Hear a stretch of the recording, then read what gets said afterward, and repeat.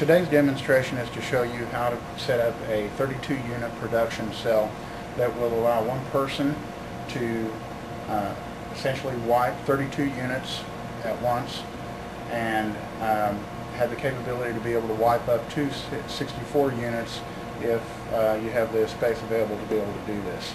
Uh, Today we're using about 100 square feet uh, per cell on this and now we'll go around to the back to be able to show you how we hook up these units.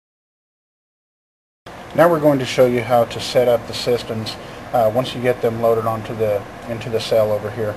Um, generally what we try to do is build uh, wire harnesses that consist of the network cables, our USB SIP cables, and then our power cables over here for just for the ease of, of loading. We've got our tables marked so that the technician understands how the configuration should go as we put them on here.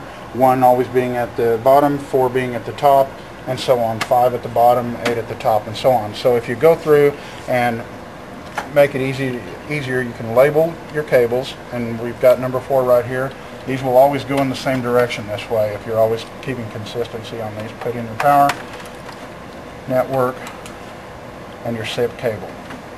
And that's all it takes to be able to hook up for this. And then you can see down through the end here that we've got all 16 on this side of the production cell hooked up in that same fashion. Monitor hooked up to be able to allow us to visually transfer from one system to the next. It will allow us to hook up to upwards to 250 systems at once via the K, uh, KVMs that as many as we want to hook up, we can continue to do that. Right now what I'm going to do is just turn this on. We're on the third system right here. We'll be able to hit our F2 to go into the setup. And when we get in here, we want to go down and select our network devices that is in here, and depending on which manufacturer you're using, will be different setup to be able to get in here to do this.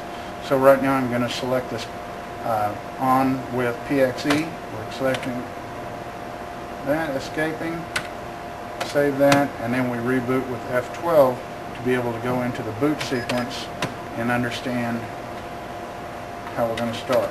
Go down here to the onboard network controller, select that, and we're off. What we generally wait for right here is just to see that there's an actual link to the PXE server right here.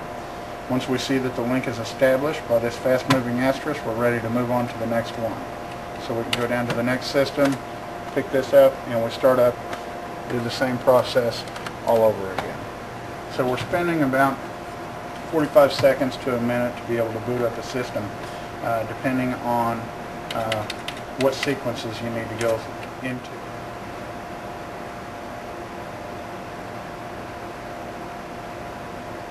And you're in secure arrest.